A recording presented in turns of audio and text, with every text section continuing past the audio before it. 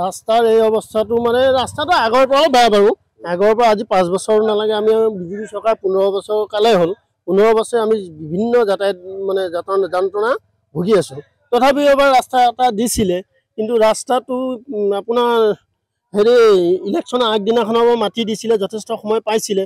সময় পায়ো ঠিকাদাৰজনে কোনো কাম নকৰিলে। অন্ততঃ কাম কৰিব নোৱাৰা নোৱাৰে যেতিয়া আধাখিনি কাম কৰিব লাগিছিলে যে দুনীয়াখনে এই আঠা মাটিখিনি আনি ইয়াত দুমাই থৈ দিলে। আৰু স্কুলীয়া পোৱালি অহা যোৱা কৰিবলৈও বিভিন্ন অসুবিধা হৈ গ'ল। এতিয়া স্কুলীয়া পোৱালি স্কুলৰ এইকেইদিন গৰম বন্ধ আছিলে এতিয়া বন্ধ হৈ আছে স্কুল যাব নোৱাৰা হ'ল। যেনি তেনি এতিয়া মানুহৰ ঘৰে ঘৰে স্কুলীয়া পোৱালিখিনি ৰাখিবলগীয়া হৈছে। আৰু বেমাৰীটো আপোনাৰ সিদিনাখন এজন আমাৰ গাঁৱতে টিকাৰাম চেত্ৰী বোলা ডেড বডি হ'ল তেখেতক আমি যেনে তেনে ট্ৰেক্টৰ দি ঠেলি এচি নিছোঁ। আনোতেও লাষ্টটো মৰি থাকিল আকৌ লাষ্টটো ট্ৰেক্টৰত আনিবলগীয়া হৈছে। ইমান দুখৰ বিষয়। এই ৰাস্তাটোৰ কাৰণে এই এই ঠিকাদাৰজনে মাটি দিয়াৰ কাৰণে আৰু ঠিকাদাৰজনক ইয়াৰ আগত আমি লিম্বু বিধায়ক লিম্বু ছাৰৰ ওচৰলৈ গ'লোঁ গোটেই ৰাইজ গ'লোঁ যে ছাৰ আপুনি কিবা এটা কৈ এইখিনি কিবা এটা কৰি দিয়ক আমি মানে এনেকুৱা বিপদত পৰি আছোঁ ৰাস্তাৰ কাৰণে। তেখেতে হ'ব বুলি ক'লে কিন্তু আজিলৈকে কোনো কাম নাই কোনো সূত্ৰ নাই। তাৰপাছত আকৌ বানপানী চাবলৈ বিধায়ক গ'ল তাতো আমি ক'লোঁ গোটেই ৰাইজে ক'লে যে এনেকুৱা এনেকুৱা কণ্ডিশ্যন ৰাস্তাটোৰ কাৰণে আমি কিবা বস্তু কৰি আনিবলৈও নোৱাৰোঁ বজাৰ কৰি আনিবলৈও মানে অসুবিধা হৈছে। হা তাৰপাছত সেই বিধায়ক চাই হ'ব দে মই কাইলৈ ভিতৰত কৈ দিম ঠিকাদাৰজনে কৰিব। কোনো কাণ খাৰ নাই।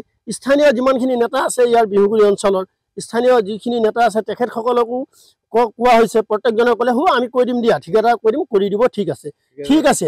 ঠিকাদাৰে হ- এতিয়া জানিব পৰা মতে ঠিকাদাৰে তেওঁলোকক মানে কুকুৰ বুলিও নকৰে গন্তিয়ে নকৰে। সেইটো কথা আমি স্পষ্টভাৱে জানিলোঁ আৰু। ৰাস্তা আপোনাৰ দেখাততো এইখিনি গোটেইখিনি ৰাস্তা আপোনাৰ এনেকুৱাই আছে আগতো দেখিছে তেনেকুৱাই আছে আৰু আগতো ৰাইজে মানে শ্ৰমদান কৰি আছে। মানে আপোনাৰ একজাক বৰষুণ দিলে আপোনাৰ পথাৰত যেন বোকা তেনেকুৱা হৈ যায়। ধান লগাব পৰা। আৰু চাওক কিয় মানেতো আপোনাৰ ঠিকাদাৰৰ হেমাহিৰ বাবে আজি এনেকৈ ভুগিবলগীয়া হৈছে ৰাইজ আজি আপোনাৰ এপ্ৰিল মাহত কাম ষ্টাৰ্ট দিলে আজি ছয় সাত মাহ হৈ গ'ল। তেখেতত কাম কৰিব বুলি ক'লে সময় পাইছিল বতৰো ভাল পাইছিলে কিন্তু কম কাম তেখেতে সময় গতিকে কামটো নকৰিলে। কাম নকৰাৰ ফলত আজি ধৰক ৰাইজ ভুগিবলগীয়া হৈছে।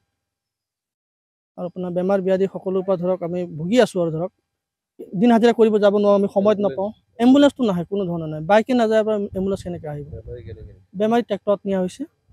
আৰু এবাৰ বৰ দুখৰ কথা আপোনাৰ জুলুঙাত মানে কান্ধত জুলুঙা কৰি চাঙি দি পেলাই মেডিকেলৰ পৰা ডেড বডি এটা আনিছিলোঁ। আজি বহুত বছৰ আগৰ কথা কৈ আছোঁ মেক্সিমাম চাৰি পাঁচ বছৰ আগৰ।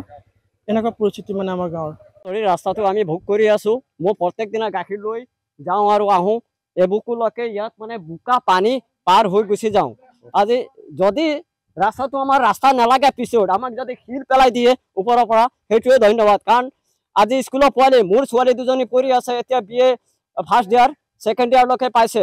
এতিয়ালৈকে আহিব পৰা নাই স্কুল ঘৰতে চিট খাই পৰি আছে। সপ্তাহ দিনত দুদিন স্কুল আহে পৰীক্ষা আহি পায় নম্বৰ ৰাখিব নোৱাৰে। নম্বৰ পাবই নোৱাৰে স্কুলত। মাষ্টৰ এইফালে বকে কেনেকৈ ৰাস্তা সেয়া অৱস্থা যাবই নোৱাৰো। এদিন চাইকেল লৈ আহিলে দুদিন ঘৰত বেমাৰী হয় হস্পিটেল নিবলগীয়া হয়। এতিয়াও মোৰ মানুহজনী ঘৰত বেমাৰ হৈ আছে তাইক হস্পিটেল আনিব পৰা নাই ৰাস্তাই দখা। নাই বাইকত আহে নে চাইকেলত হেঁচিব পাৰোঁ। বাহিৰে ঔষধ কিনিহে মই হৈ আছোঁ তাইক।